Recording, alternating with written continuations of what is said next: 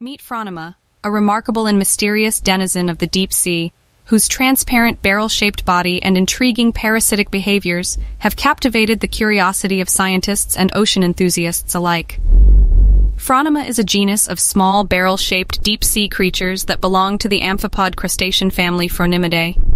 These fascinating organisms are known for their unique behaviors and are primarily found in the world's oceans, especially in deep-sea environments.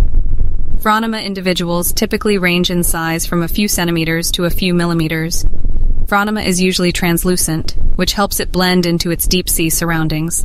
They have a cylindrical or barrel-shaped body with two distinct segments. The anterior front part of the body houses the head and mouth parts, while the posterior, rear part contains the thoracic segments. 200 meters and sometimes even deeper. They can be found in oceans around the world, in both tropical and temperate regions. Phronima is known for its parasitic behavior. It uses the gelatinous bodies of certain species of salps as both a shelter and a nursery for its young. The female Phronima hollows out the gelatinous body of a salp, creating a barrel-like structure.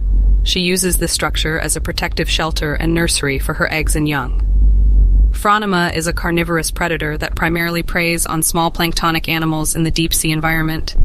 It uses its specialized mouthparts to capture and consume prey. The female Phronima lays her eggs inside the hollowed-out salp body. She guards and cares for the eggs until they hatch, at which point the young Phronima larvae are released into the surrounding water. The genus Phronima was first described by the Danish zoologist Johannes Japetus Smith Steenstrup in the 19th century. Phronima's intriguing interactions with other deep-sea organisms have made it a subject of interest for scientists and oceanographers studying deep-sea ecosystems. Phronima's parasitic and predatory lifestyle as well as its distinctive appearance, make it a notable and somewhat enigmatic inhabitant of the deep sea, showcasing the adaptations that life has developed to survive in extreme environments. As we delve deeper into the mysteries of the ocean's depths, Phronima stands as a testament to the extraordinary adaptations that life has evolved to thrive in one of Earth's most extreme environments. Meet Phronima, a remarkable and mysterious denizen of the